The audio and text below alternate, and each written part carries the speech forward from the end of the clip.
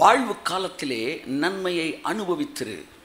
அடுத்த வசனம் மிஞ்சின நீதிமானாய் இராதே. அப்படின்னா என்ன அர்த்தம்? அனுபவிப்பதற்கு எதிராய் பேசுகிறவர்கள் எல்லோரும் மிஞ்சின நீதிமான்கள்.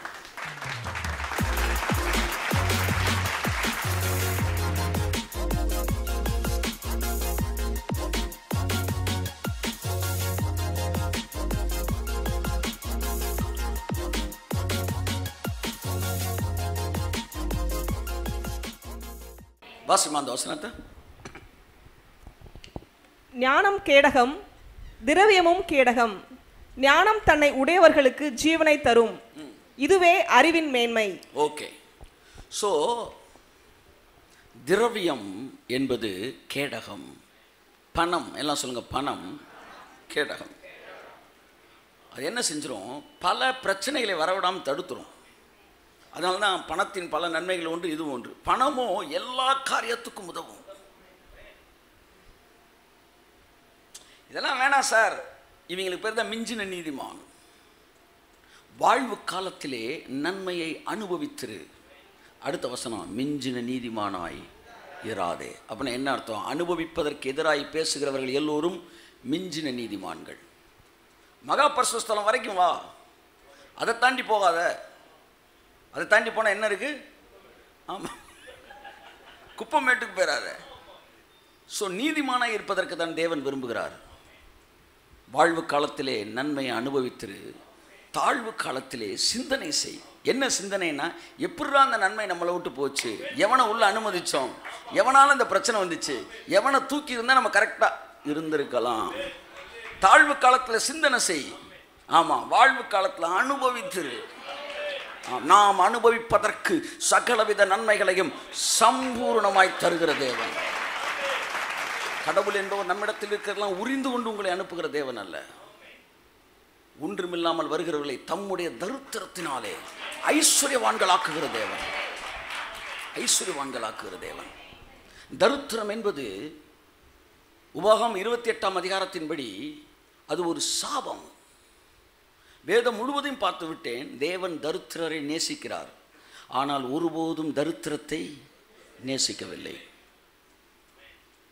தரித்திரத்தை தேவன் வெறுக்கிறார். அது நியாயப்பிரமாண கட்டளைகளை மீறுகிறதினால் வருகிற சாபங்களில் ஒன்று தரித்திரம். ஆனால் பிசாசோ ஊழியர்களை மதிமயக்கி தரித்திரத்தை ஆசீர்வாதம் என்று பேச வைத்து மக்களை தரித்திரத்தை விரும்பும்படிக்கு செய்துவிட்டான். ஆமேன். அப்படி இருக்கட்டுமா ஸோ தரித்திரம் என்பது according to the word of God it is a curse இன்று இரவே கூட நீங்கள் அதை துரத்த வேண்டும் என்று நீங்கள் முடிவெடுத்தால் இந்த இரவே துரத்திடுங்கன்றேன் ஆமேன். ஒரு நாள் இரவு கூட உங்கள் வீட்டில் அது இருக்கக்கூடாது.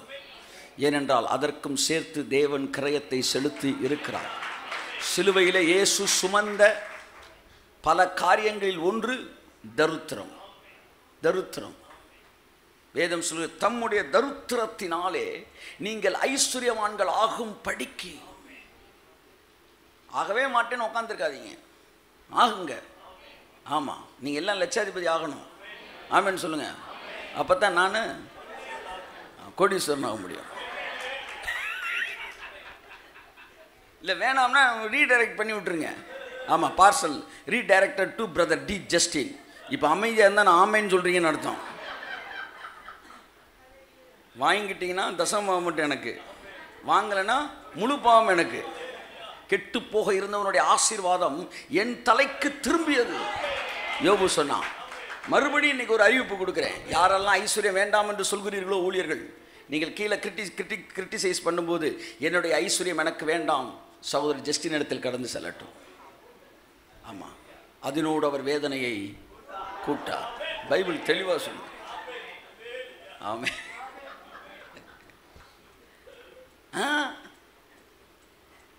இந்த வைக்க போகிற பக்கம் நாய் உட்காந்துக்கிட்டு இது வந்து மாடையும் திங்க விடாது. அடுத்து அதுவும் திங்காது. அந்த மாதிரி ஊழியனும் ஐஸ்வர்யத்தை அனுபவிக்கிறது கிடையாது. அடுத்து ஜனங்களையும் அனுபவிக்க விடுறது கிடையாது. ஏதோ எங்களால் முடிஞ்சது. ஒரு ஐநூறு பேரை தரித்திரனாவே வச்சு வாழ வச்சுட்டோம். ஏன் இது மேலே உங்களுக்கு இவ்வளோ வெறுப்பு? நான் அங்கே இருந்திருக்கிறேன். அவர்கள் மத்தியில் ஒருவனாய் நான் இருந்திருக்கிறேன் அவர்களுடைய வறுமையை பார்த்து நான் பரிதபித்திருக்கிறேன். சார் தேவன் ஏன்டா இப்போ இருக்காரு நான் யோசித்திருக்கிறேன். ஆனால் அப்படிலாம் கேள்வி கேட்கக்கூடாது தம்பி. கேள்வி கேட்கக்கூடாது தம்பி. ஆ கேள்வி கேட்கக்கூடாது. அதுக்கு பேர் சர்வாதிகாரம். சர்வாதிகாரம். அதான் யோசித்தேன். மனுஷன் மற்றவனுக்கு தான் தான் வந்து மற்றவன்கிட்ட ரொம்ப அன்பாக இருக்கிறான். ஆனால் தேவன் தன்னோட அன்பாக இருப்பார்னு அவனுக்கு தெரியல. ஸோ தேவனுடைய தேவன் நம்ம அன்பாக இருக்கிறதுக்கு மேலே தேவன் அன்பாக இருக்கிறார். அதை நீங்கள் தயவுசெய்து புரிந்து கொள்ள வேண்டும். நீங்கள் யாரையும் கடின கஷ்டப்படுக்க கஷ்டப்பட வேண்டும் என்று நீங்கள் விரும்ப மாட்டீங்கன்னா தேவன் விரும்ப மாட்டார்ப்பா. ஆமேன்னு சொல்லுவோம். ஆக முதலாவது புரிந்து கொள்ளுங்கள் நான் ஐஸ்வர்யவானாய் இருப்பது தான் தேவனுடைய சித்தமாக இருக்கிறது. ஏனென்றால் ஐஸ்வர்யம் கேடகமாக இருக்கிறது.